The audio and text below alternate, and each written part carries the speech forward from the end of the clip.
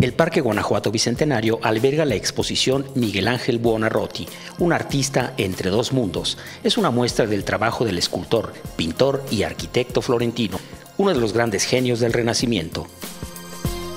66 obras entre dibujos, óleos, libros, documentos y esculturas que dan testimonio del espíritu creativo del artista.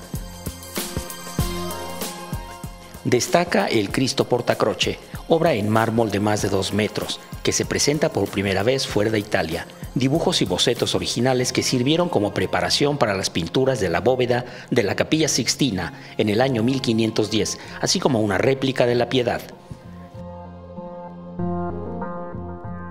También se presentan piezas de artistas que fueron influenciados por el arte de Miguel Ángel, entre los 26 autores que acompañan la exposición se encuentran Rafael Sancio, Giorgio Vasari, Andrés de Concha, Marcelo Venusti, Bernal Díaz del Castillo, entre otros. La talla directa es, una técnica que permite a partir de un monolito eh, ir eh, quitando partes de ese monolito hasta extraer de ahí una figura. Esa es la técnica con la que trabajó Miguel Ángel siempre, siempre hizo talla directa.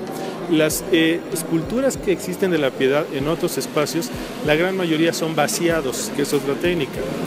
Además de la factura que es maravillosa, nos obliga a pensar historiográficamente que tuvo que haber sido hecha en la prop junto a la original.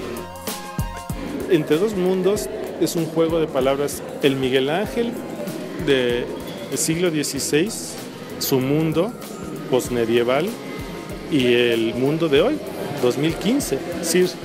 Es un artista que no solamente eh, tuvo impacto en el siglo XVI, sigue teniendo impacto.